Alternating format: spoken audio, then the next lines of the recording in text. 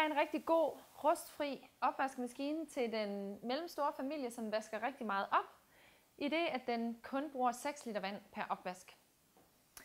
Hvis vi kigger på den, så øverst her har den et fint display. Det er symmetrisk på den måde, at det er knapper i begge sider, og så et lille display her i midten. Det er rustfrit stål, som jeg sagde, og den har fedt afvisende øh, lag udenpå, hvilket gør, at du ikke kan se mine fingre, når jeg sætter dem på. Maskinen her har en kapacitet af 13 kuverter. Som vi ser, så er der tallerken, og der er to tallerkenrækker, hvor det er muligt at øh, fælde dem ned. Og det vil sige, at der bliver bedre plads til at lægge for eksempel fadet helt fladt ned. Det er også muligt at bare fælde dem her bagerst, så øh, fadet kan stå på skråt. Og der kommer vi så til, at inde bagerst er der netop det, man kalder Power Clean spuledyser, der har ekstra tryk på op imod fadet, så fadet bliver helt rengjort. Der er også en øh, enkelt separat bestikkurv, som du kan flytte hvorhen du vil, og du kan også tage den helt væk, hvis du vil have mere plads i den nederste kurv. Når vi tager den midterste kurv, så kan vi se, at der er plads til øh, forskellige glas og høje glas og kopper. Og igen så er det nedfældbare tallerkenrækker. Det er så for eksempel til små tallerkener eller skåle. Der er også plads til at lægge en kniv herover i højre side, hvis det er det. Det er muligt at justere kurven op eller ned, alt afhængig af om du har store tallerkener for neden eller høje glas for oven. I den øverste kurv er der plads til bestik.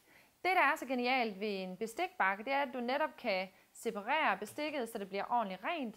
Og du kan også tage det ud, uden at berøre den del af bestikket, hvor du skal spise. Så kan du bare tage det ud og putte det direkte i skuffen.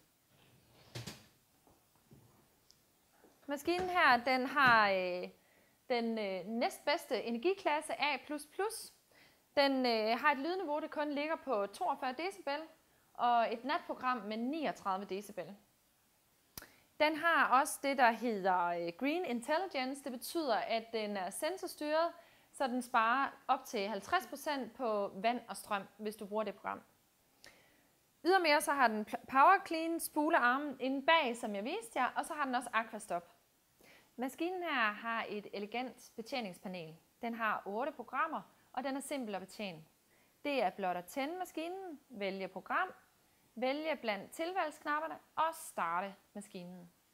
Det jeg specielt har lyst til at trække frem, det er blandt andet Sensor Clean Plus. Det er et øh, intelligent opvaskeprogram via sensorer. Det vasker mellem 40 og 70 grader en komplet vask. Der er også et natprogram. Det er utrolig lydsvag, kun ved 39 decibel, og det er en skånsom vask.